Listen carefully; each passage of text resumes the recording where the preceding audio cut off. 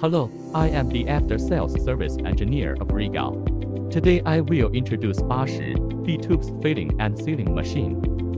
We will store the tubes here. Here is the tube feeding hopper. The tubes will come down from here. This is the tube feeding plate. It will transport tubes into the molds. Here is the color-coded marking recognition.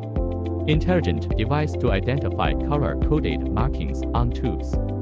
This part is dust removal device. When tubes arrive here, machine device will remove the dust particles in the tubes.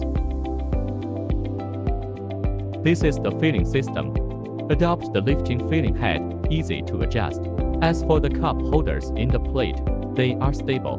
When the machine is running, the hot air comes down from the top with less noise. Avoid the defect of tube's deflection. The tail sealing clamp has been changed to mechanical type instead of the pneumatic type used by the common sealing machine.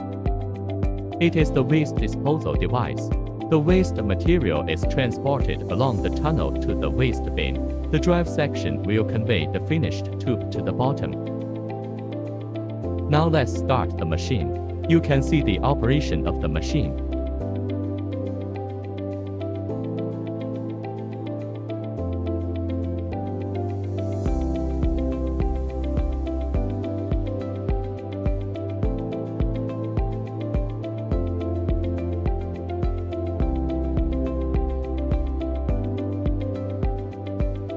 Tube tail is flat and without burr edge.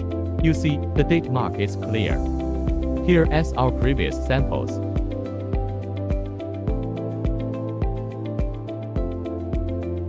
Thanks for watching.